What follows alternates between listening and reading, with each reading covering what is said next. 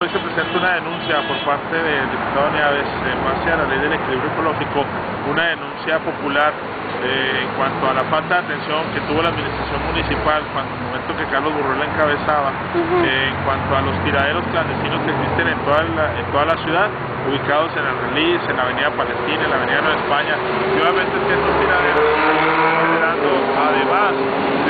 impacto ecológico y visual está generando que el ambiente, la biodegradación se vea está afectada, se vea dañada, pero más que nada está evidenciando una falta de eficacia y eficiencia en la administración de los recursos en el presupuesto que tiene